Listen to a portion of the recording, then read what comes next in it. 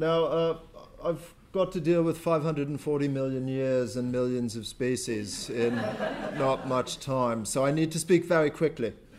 No, I'm, I'm kidding. Uh, look, what I'm going to do to um, focus this a little bit is rather than try and deal with the whole tree, I'll, I'll focus on some of the deeper parts, some of the deeper interrelationships between the major arthropod groups, and how we can use a, a multi pronged approach to try and tackle this fairly complicated um, evolutionary problem.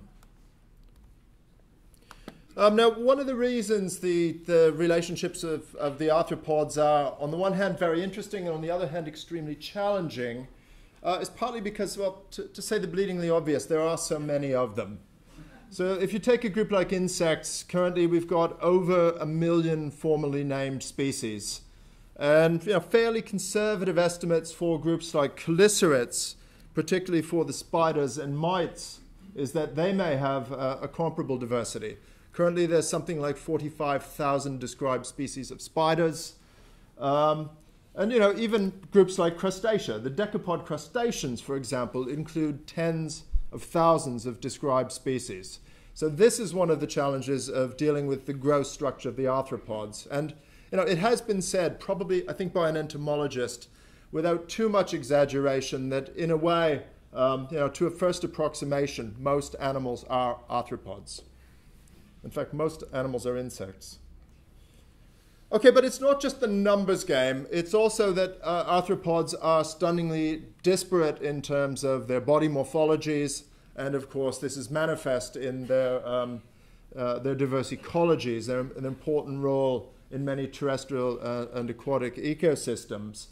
And this disparity, all these different body parts in these sort of Swiss army knives that are arthropods, um, often makes for uh, challenges in trying to basically to line up the parts.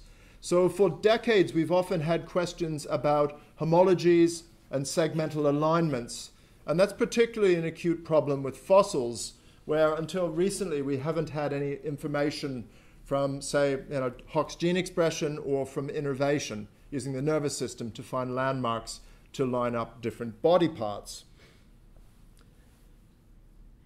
Now, a, th a, third challenge is that this stuff happened a long time ago. So the arthropods are an old group. They are a, a, a classic part of the Cambrian explosion.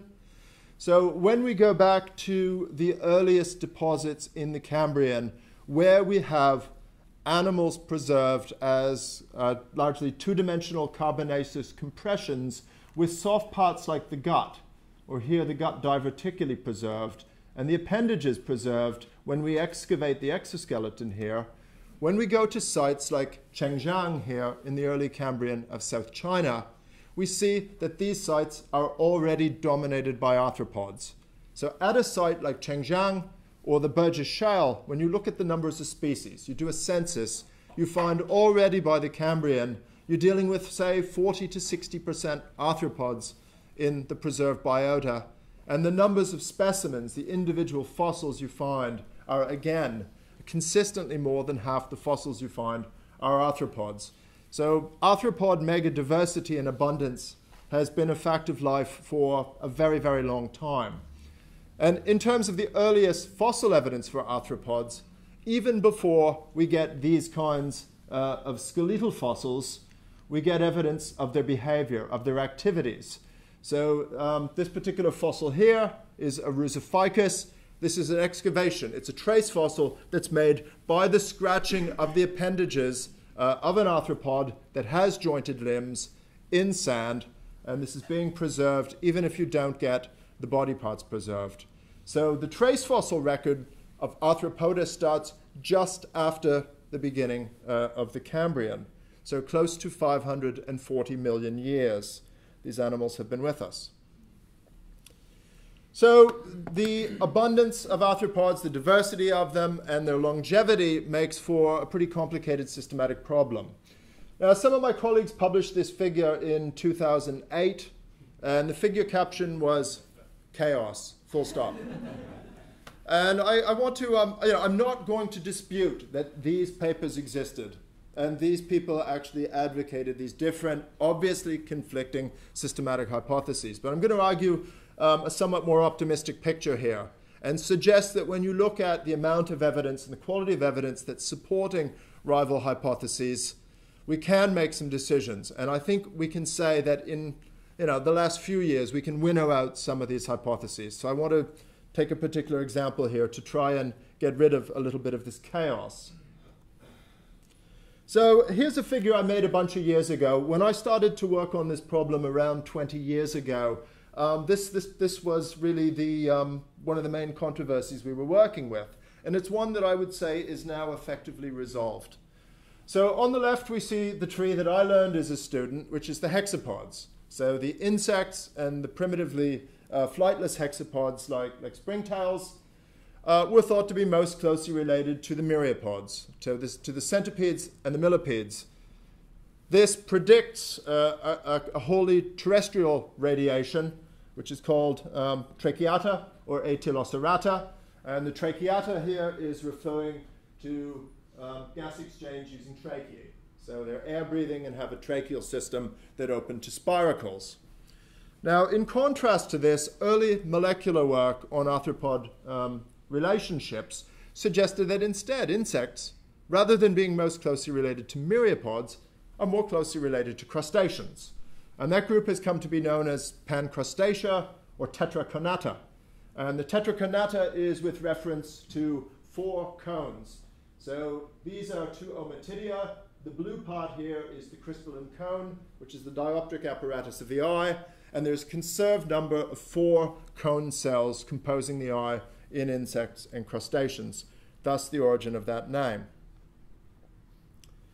Now, what I would suggest is if we look at the history of molecular phylogenetics of arthropods after, over the last 20 or so years, um, the, the data decant emphatically to one side. Essentially, everybody who has gone at this problem, irrespective of the kind of molecular evidence they're using or the analytical approach that they've used to analyze the data, have come up with the same answer which is crustaceans are paraphyletic. They are a grade of evolution of which insects are a member. So hexapods are derived crustaceans. So here's just a series of, of analyses conducted um, in some cases, say 15 years ago. And the trend here is towards an increasing amount of data being used to tackle this problem. Uh, we can continue this. We can use some rare genomic changes like um, small non-coding regulatory genes called microRNAs. There's some novel ones here. Um, an important study published in Nature five years ago by Regier and others used um, really the most extreme example of you know, hardcore classic Sanger sequencing, 62 protein coding genes across 75 different arthropods, got this result. And the approaches we've been using in, in the last few years is either larger uh, combinations of different kinds of data or transcriptomic approaches, uh, and in some cases, you know, dealing with up to 1,500 genes. Every one of these analyses has come up with the same solution. If I were to put up a rival slide saying support for tracheata from molecular data, I'd show you a blank slide. So in that particular case, you know, we can say that you know this this debate um, is is effectively settled. But but what about morphology? You know, one might say, you know, is this a, a, a morphology versus molecules debate? Well, I would say it isn't. I would say what it is is it's a morphology versus morphology debate because both of these hypotheses are supported by different sets of anatomical data. So if you go back to um, the Swedish school of, of neuroanatomy in the 1920s and look at the trees, little shaky hand-drawn trees that, uh, that Holmgren was drawing in 1925, he has malacostracan crustaceans as the closest relatives of insects. Branchiopods are branching off earlier than that. Myriapods are branching off earlier than that, and chelicerates earlier than those, which is effectively the tree that neuroanatomists would draw now based on the same data. So, for example, we just looked at the example of the crystalline cone in the eyes. So, the ommatidia have unique structures in insects and crustaceans. So, let's go into the eye stalk now. So you find that there are common shared nested neuropil areas optic lobe that are shared by crustaceans and insects. When you look at the neural connections between them, you can see that the axons are crossed in the form of chiasmata, which is a, a unique character. If you go to branchiopod crustaceans, they're straight, uncrossed axons between two neuropil areas. In the central body of the brain, there are unique substructures, so things like a protocerebral bridge and this fan-shaped body are shared by insects and crustaceans. So there is a suite of neuroanatomical data that are consistent with what we're always getting from molecular phylogeny. And here's a tree Nick Strausfeld and Dave Andrew put together about five years ago. This is a, a set of discrete neuroanatomical characters. So basically neurocladistics, as they call it, analyzed with parsimony. And in this particular case, if you look at the topology, you can see that crustaceans are a paraphyletic group, and Malacostraca here are the closest relative of hexapods. So I would argue that there is um, a good body of anatomical support that is entirely congruent with what we're um, quite decisively getting molecularly. Okay, so the, the crux of the problem, let's treat that effectively for the rest of this lecture as sort of a given. Um, it's where the myriapods go. And I put this up, I'm, I'm in my, my day job, uh, I'm a centipede taxonomist. So these are my creatures here. It's where the symphylans, the pauropods, the millipedes. This is actually a millipede. This is a, a bristly millipede or a pincushion millipede. If you tear off bark, you'll often find these things. Or in Britain, you'll often find them walking on cool parts of church walls. I think they evolved to walk on church walls. no, it's where the myriapods go, uh, I would say, is actually the crux of the root of the living arthropods, the first big split in living diversity. So let's just look at two completing trees. So this is what we've seen already. Here's crustacean paraphyly, hexapods, their sister group. This is the classic tree. So anyone who's learned this probably since 1935, which I guess is all of us, um, when Snodgrass first named this group Mandibulata. So these are arthropods in which the post-tritocerebral segment is a jaw. And we'll return to this again. So a single origin of mandibles. Now, about uh, 12 years ago, two groups independently named a, a rival clade. So 2004, um, it was suggested based on mitogenomics that myriapods, rather than being related to other jawed arthropods, could be more closely related to the chelicerates. And this group was named either Paradoxopoda or Myriochelata. And Paradoxopoda kind of gets at the crux of a morphological problem. So the paradoxical feet because at the time there was no anatomical data that were consistent with this hypothesis. And I would say, in fairness, um, some characters of the way uh, neural tissue develops have been argued to be consistent with that. The other one is basically when you can't come up with a character, you just put the two names together. so Mirio Pilata. It's kind of a, a dog's dinner uh, of zoological nomenclature. But if you look at the trees, it's not, it's not a trivial problem because, you know, flip between those two trees and it's the root of all living arthropods. You know, how, how things decant right at the base of the tree. So about 10 years ago, we could look at the data and um, start to see a pattern emerging. Because if you looked at different analyses, you would find that under some analytical conditions, you would get one hypothesis supported, so the green ones here, in, often in the same papers, would be supporting paradoxopoda. Uh, the blue ones would be analytical conditions which were supporting mandibulata. So this would sometimes come down to whether you were analyzing nucleotides or amino acids, what model you were using, um, what your optimality criterion was. So maybe your Bayesian analysis gave one result, maximum likelihood was giving another. Um, whether we're using uh, different types of taxon sampling, and I'll show some examples of this in a moment, looking at how outgroup choice dictates which of these results you got. So it was seen that, you know, at that time things were sort of up in the air a bunch of years ago, and it was seen that there was analytical sensitivity um, in the data. So uh, a few years ago, some colleagues and I decided to um, look at this problem, and just, this has sort of cheekily been called forensic phylogenomics. So what you're doing here is you're trying to dissect the signal in the data. You're trying to go back and look at data sets and see where the evidence is coming for for different um, rival hypotheses to see what conditions are, are supporting different results. So uh, the core analysis I'll report here is um, some work done by Lahcen Campbell in uh, 2011 based on 255 genes um, and it's fairly complete matrix. So on average, there are 163 genes per taxon. And this is, you know, looking at a whole bunch of different models uh, uh, of amino acid replacement, different analytical methods. Now, what one finds here is that the tree that the model that fits the data best um, is a fairly computationally intensive one. And what one finds here is that there is support for mandibulata with this data set. So it's the first tree that I showed before. So it's crustacean paraphyly, insects as sister group to um, one of the crustacean clades, myriapods as their sister group. Here are the, the euchelicerates and then the sea spiders here. Um, and then Onychophora, the velvet worms, as the sister group to the arthropods. But to get to the forensic part of it, what um, Omar Rota-Stabelli and Lahcen Campbell decided to do is look at a, look at a bunch of different analytical um, aspects of the data. So I've just, I've just taken one of them here. I'll just take the effect of what you choose as an outgroup here to root the tree. Because remember, fundamentally, this is a rooting problem we're dealing with.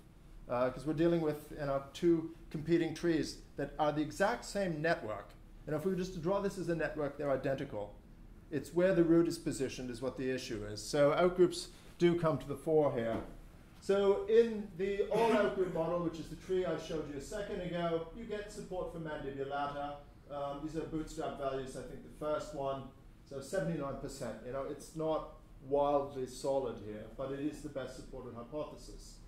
If you root the tree, um, rather than using, say, tardigrades and onychophorans in here, on, you know, say, very distant group of protostomes, you find that the data shift, the tree changes, and you get support for Paradoxopoda rather than for Mandibulata. So the chelicerates are attracting to the myriapods. Now, if you just take evolutionary rates in the outgroups and consider the consequences of that, if you say a fast evolving outgroup like nematodes, then branch lines on nematodes will often be sort of out here into the next state. You know, they're often very long branches. Um, you find you get support for Paradoxopoda. Use slow evolving outgroups, echinorincs, or priapulids, onychophorans, and support shifts towards mandibulata. So what we find here is when you look at fit of models, when you look at choice of outgroup, when you make a decision about using fast evolving genes or slow evolving genes, you can see there's a difference in the results you get. And essentially, to, to summarize it, under those conditions that we would expect would exacerbate systematic error. So things like long branch attraction or say saturation in our data, under those conditions you get stronger support for paradoxopoda. Under the conditions that you expect to, um, to counter systematic error, support shifts towards mandibulata. So our conclusion based on this sort of forensic phylogenomics is that um, paradoxopoda appears to be a, an artifact uh, of systematic error. And um, that's why, you know, often with these analyses, looking at, at um, you know, different analytical conditions can be very important rather than simply, you know, here's my model, here's my tree. Okay, so what we're left with then is mandibulata uh, as a putative clade of arthropods. there's a definition of a mandible here, so it's telling us it's on the same segment. It tells us something about its functional role. It tells us it's kind of a weird thing to do with a limb. Because if you think about it, where does a mandible come from? If we look at Hox expression in arthropods to line up our head, or we look at the brain, uh, we can see that the homologue of a mandible, this is a symphylan, which are just adorable. They're very cute because actually this is the base plate of the mandible, which, which becomes an external part of the head. And then the biting part of the mandible is hinged on that and is then part of the feeding chamber. So we're not seeing the biting edge of the mandible because it's encapsulated in the head in a chewing chamber. But that mandible is segmentally aligned with the first walking leg in a chelicerate. So ancestrally, the inferred transformation here is that a locomotory leg has become a highly modified coxal endite. It's throwing away the locomotory part of the leg, exaggerating the basal part of it, um, and, and turning it into a, a, a chewing organ. Now, happily, these kinds of homology decisions, which, you know, in the past, these ideas came from gross anatomy, they came from studies of musculature. Um, we have other tools now. Um, gene expression, for example, can be very useful in, in evaluating uh, homologies of structures and can, pro can provide us new arguments. Um, a series of, for example, the gap genes that express along the proximal distal axis of all arthropod legs. So if you take genes like, um, Paul had some Distal-less stuff this morning, Distal-less expression or dachshund expression, you look at these things, there are particular diagnostic fingerprints of mandibles that tell us these things are the proximal parts of legs. But I'm going to show another example. This is work that uh, Prashant Sharma and others published a couple of years ago. Um, this is a transcription factor called cap and collar, which is a very important gene in um, specifying mandibular identity. So you can do functional studies on this gene. If you knock down cap and collar in an insect or in a chelicerates, or sorry, in, in an insect in this example, um, you will find that a normal mandible doesn't develop. And if you look at the morphology of the appendage that forms there, it looks much more similar to a maxilla. So there is something about this role in specifying the identity of a mandible. Now, you know, I, am a systematist. I'm, you know, not a functional biologist, and I'm often I'm interested in seeing these things as characters. And uh, you know, I'm going to admit here what I'm going to show you is an unrooted tree because the outgroup doesn't have data. But what we see here is in chelicerates, there is expression here in red of cap and collar all along the opisthosoma, sorry, and the prosoma here, uh, and in the labral region, where in all of the mandibulates, there's a localization of expression of cap and collar. It's expressed in the labral segment, and then it's expressed uniquely in the mandible. So there are some things we can be using here as putative characters for phylogenetics, which are consistent with what we see in the uni unique morphology and function of that appendage. So we just keep the, the, the um, tape of life going, to use a, a, Steve Gould metaphor here. It's kind of fitting. I guess I'm at Harvard. Um, and basically, we, we keep adding more taxa, we keep adding more genes. So here's some, our German colleagues did some analyses a couple of years ago, basically adding more taxa in a transcriptomic approach, again, you see we're, we're repeatedly getting support from mandibulata pancrustacea, which might not be a surprise by this point. Uh, the monophyly of myriapods. You know, uh, my, some of my colleagues wrote a few years ago that sort of the rediscovery of myriapods as a monophyletic group was one of the success stories of molecular phylogenetics. Because you can go back 100 years ago, Pocock was actually the, the last person besides me to work as a myriapod systematist at the Natural History Museum, uh, left in 1907. He went to the London Zoo. so he described the Myriapoda in 1893 as an unnatural assemblage of beings. and when I started working on this problem, the, the prevalent view from morphology was myriapods were not monophyletic. They were thought to be an ancestral grade from which insects evolved. So, you know, here again, we're getting nice support for myriapod monophyly and hexapods are within a paraphyletic crustacea. Um, what we've been doing in the last bunch of years, a number of different workers on arthropoda working on different groups, is we're taking some of the less studied groups. And no surprise, I'll focus on the myriapods. Um, this is work that's been led by Rosa Fernandez, who's with us here. Uh, it's work done here at Harvard. And um, we've added lots and lots of high quality transcriptomes for centipedes, uh, some of our colleagues here in the US have been adding millipedes, and we've added a few more as well, uh, symphylans. So some of these problems we're now analyzing um, with hundreds of genes uh, across the Myriapoda, and our sampling is now essentially at the level of families in many cases. And you know, I don't want to bang on about this too much, but what these little grids are here are 20 different analyses.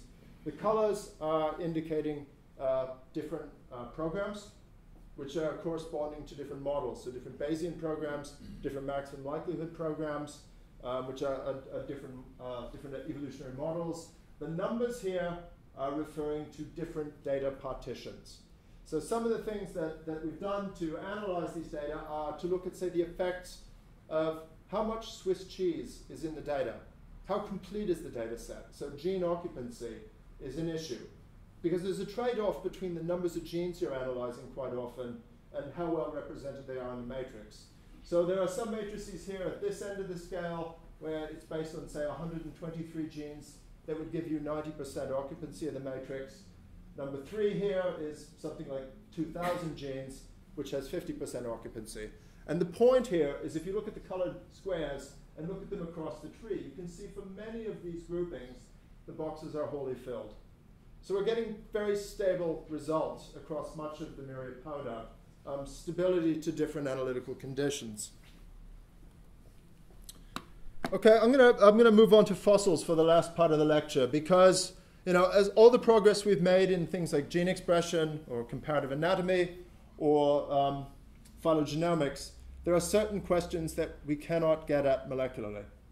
So when we look at this rooting problem, if you think about it, if I'm saying that um, this, this Paradoxopoda-Mandibulata thing is about the split, the fundamental split of the arthropod crown group, and the, the next, the sister group to them, Onychophora, has diverged a long time ago and is anatomically very different. What are the series of morphologies that are represented on the stem lineage that leads to the living euarthropods? So these are questions we can only get at with fossils. And uh, happily, uh, a, a, lot of workers in different parts of the world have been working on the arthropod fossil record from Cambrian sites, a couple of my favorite sites here in, in South China, and of course from the Burgess Shale. So to get at this issue, this is the situation I, I, guess I just explained. So here is the arthropod crown group, and here is their living sister group, the Onychophora. I would actually resolve this tree, but some people would disagree with me. So let's just interpolate a single fossil group into that stem lineage. So this is a group of Cambrian fossils called fuxianhuiids. And what you can see here is the fossils give us the capacity to break up a very, very long stem. So if we're dealing with a rooting problem, breaking up long branches can be important, but beyond that, beyond just getting the tree right, we're interested in the history of anatomical characters. We do want to know what comes before what in lineages. So here's a situation where fuxianhuiids have some of the characters shared with living arthropods. So they've got the mouth reorientation, they have compound eyes, the exoskeleton, rather than being um, uh, you know, a soft cuticle like onychophorans, you already have articulated segmental tergal plates here. You have segmented sternites on the ventral side. So you have some arthropod characters, but you don't have them all.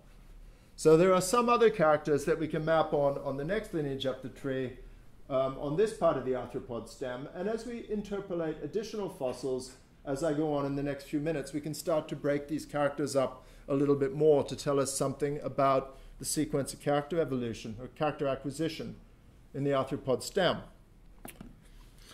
So if we're interested in any of these panarthropods, so Panarthropoda is the clade with paired segmental appendages, so paired ventrolateral appendages. So the tardigrades, the water bears, the velvet worms, the onychophorans, and the euarthropods.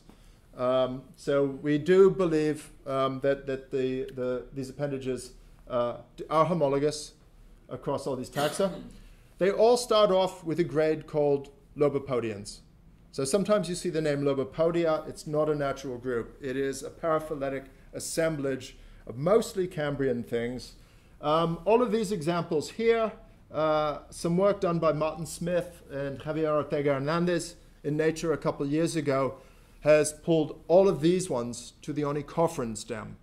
So a lot of research has gone into trying to figure out which part, which panarthropod lineage do these lobopodians belong to.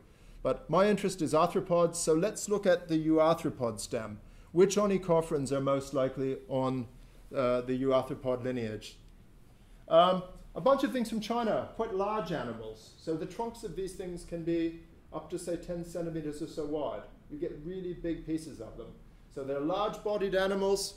Um, let's do a, a, zoom in on the head of one of these things. And I'm particularly interested in this structure here. So this is the anterior end, and we'll get to the gut here in a moment. What one finds is that in the lobopodians that we now attribute to the arthropod stem, the first appendage is enlarged. And it has a morphology we would associate with food gathering. It looks raptorial. There are spines along its inner edge, and it starts off as an annulated thing. So this is not yet a jointed appendage. This is basically more of a sort of a, a Michelin man, a, a, lobopodial leg like we would get in onychophorans, but in a, a rather more aggressive way. Uh, next node up the tree, this is an animal from the early Cambrian of Greenland. Again, you have annulated frontal appendages with spines coming off the inner edge. And then further along the euarthropod stem, we get animals like anomalocaridids, where you do have a pair of enlarged raptorial frontal appendages. Um, with very strong spines, often barbed spines on these things. But the key acquisition here is that these things are jointed. They're sclerotized, they're arthropodized, they have pivot joints and condyles between them, and there's arthrodial membrane between those. These are arthropodized limbs. Now, further adaptations that relate to feeding in the arthropod stem are when we go to those large lobopodians I was talking about a moment ago, we see that they have these bean-shaped or kidney-shaped organs which we attribute to the midgut. So the gut is running through the middle here, and then there are these organs that have this very consistent radiating canal pattern internally. So some sort of, of digestive glands that are thought to be associated probably with, with a shift in feeding. These large animals with raptorial appendages are probably carnivores or scavengers, so they're, they're probably taking a different type of prey.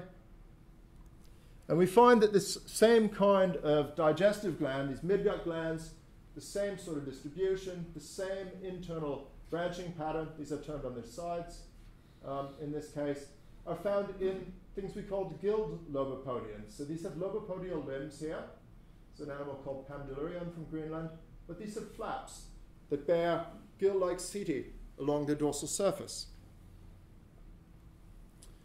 And finally, we get to uh, Anomalocaridids here. This is Anomalocaris itself, a couple of specimens from the Burgess Shale.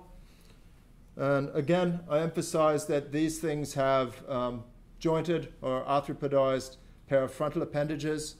And the character I want to draw your attention here are these, um, the eyes. These things have stalked eyes, but for a long time, we didn't know anything about the visual structure of these things because in places like the Burgess Shale, as exquisite as the fossils are, they're generally carbonaceous compressions. So if you look at this thing down the microscope, you can stare forever, and essentially you're dealing with low-grade metamorphic fabric of carbon.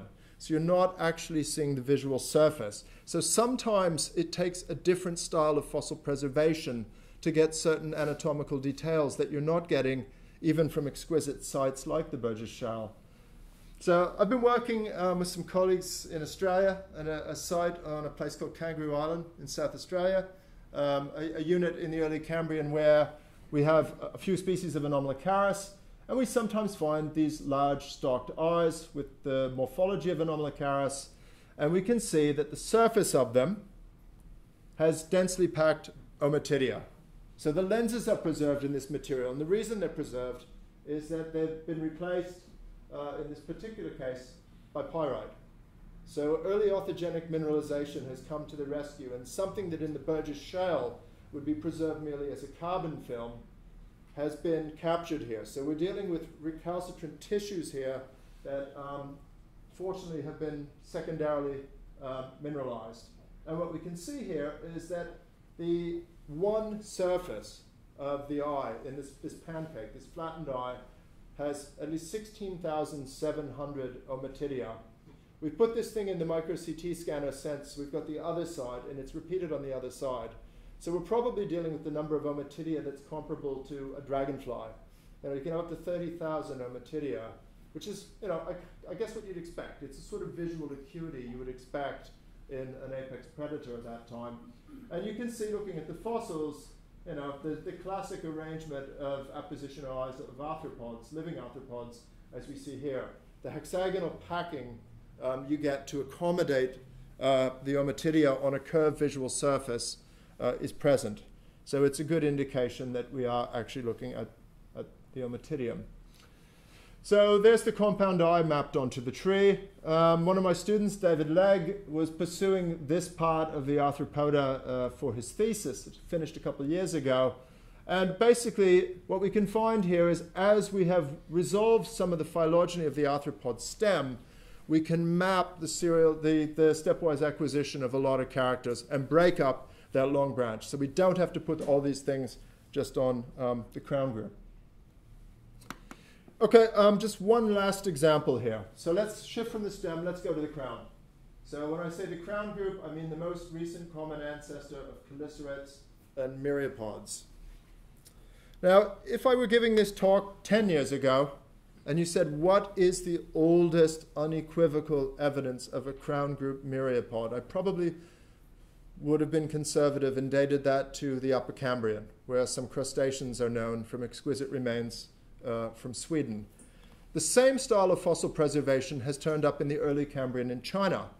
And this is where very small remains, so larval and early post-larval remains, are being secondarily replaced by calcium phosphate. So phosphatization of the cuticle has left us with exquisite detail. So here we're dealing with individual appendages of, of a crustacean. We're dealing, you know, particular, we could look at fine setae on some of these things. Um, and this material is 517 million years old. So it's, it's early Cambrian. And you, you code these characters up in our phylogenetic analyses. You know, we fight a little bit about where they go, but they're most closely related to either cephalocarids or branchiopods. So these are crown group pancrustaceans from 517 million years. So it is telling us that some parts of the arthropod divergence were already in place by the early Cambrian. Uh, so another style of preservation, and again, this is very recent work. So again, we're dissolving rocks up here, but instead of getting our insoluble residues being calcium phosphate, this time they're going to be organic. So this would be familiar to you know, Diane and many of our paleobotanists would be familiar with you know, hydrofluoric acid maceration. So we're getting organic residues here, again from the Cambrian. And we can see here that there are quite diagnostic molar plates of mandibles, which to my eye compare to anostracan crustaceans. But let's, uh, to branchiopods. Let's just be conservative then and say, okay, they're probably pancrustacean.